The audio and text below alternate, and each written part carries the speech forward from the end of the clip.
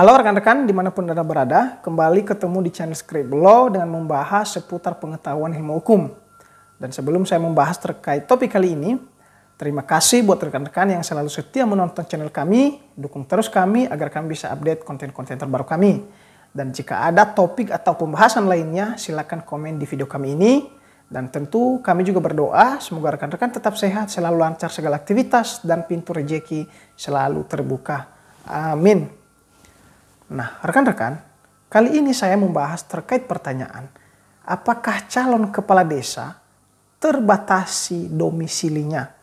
Ya, artinya seorang kepala desa yang akan mencalonkan dirinya, ya, namun bukan warga desa tersebut, apakah dibatasi atau tidak?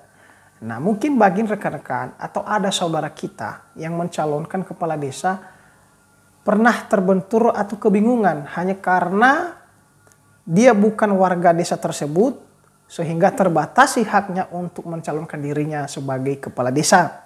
Nah, ketika kita membahas masalah desa, ya bisa kita merujuk di Undang-Undang Nomor 6 Tahun 2014 tentang desa.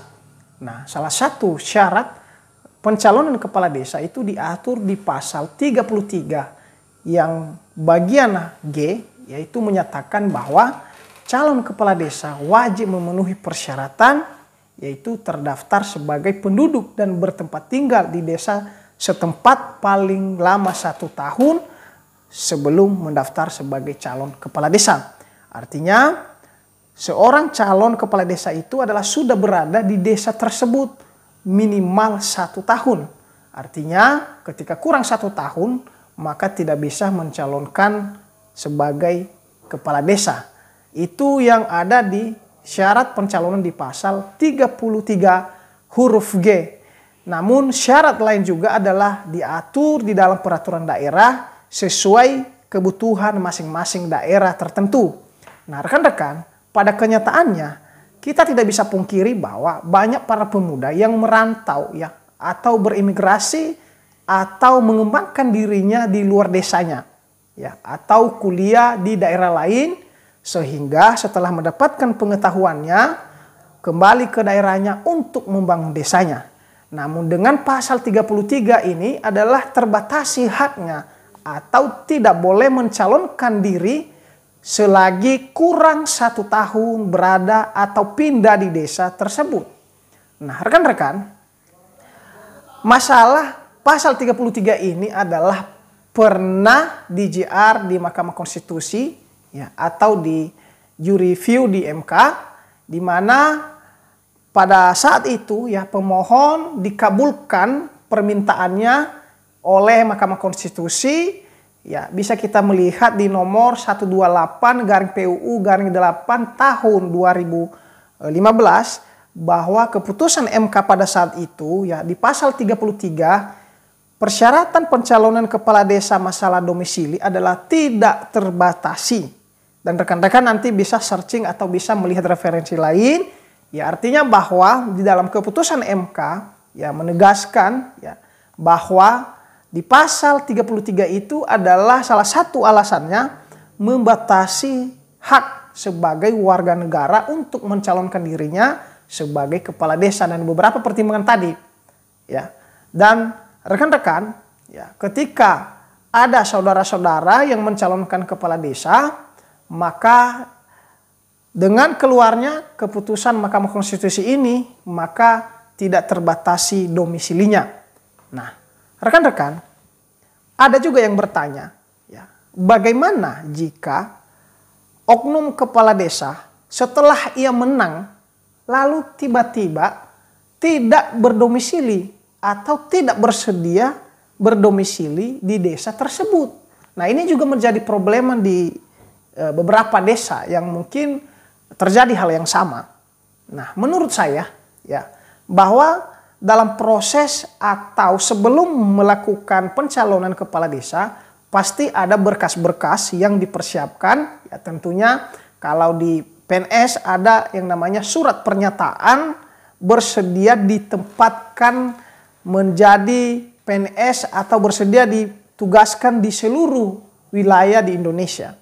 Namun juga pasti di dalam pencalonan kepala desa pasti ada juga surat pernyataan yang mengatur tentang masalah domisili. Namun saya tidak tahu bagaimana di desa rekan-rekan. Nah, sepengetahuan saya bahwa jika ada surat pernyataan bahwa ketika menang kepala desa dan bersedia berdomisili di desa tersebut, maka sudah cukup pernyataan itu adalah sangat mengikat dirinya.